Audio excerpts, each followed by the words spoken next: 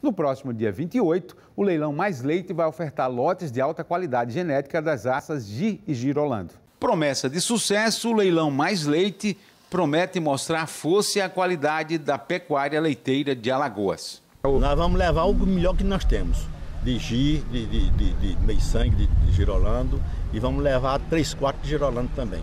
É, é um gado que todos nós queremos comprá-lo.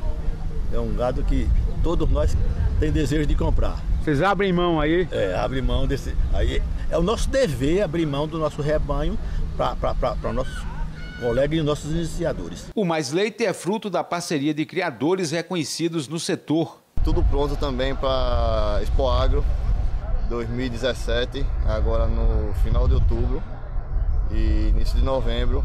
E vamos participar também do leilão Mais Leite, com a presença da Agropecuária Pereira, com 10 lotes da extrema qualidade vocês já conhecem. Alexandre Oiticica reforça a importância das exposições para os criadores. Acho que sempre é bom prestigiar os eventos. Se, se nós, produtores, pecuaristas, não, não incentivarmos o, o desenvolvimento das exposições, realmente para quem cria a raça, nós vamos ter uma dificuldade muito grande de mostrarmos o nosso trabalho.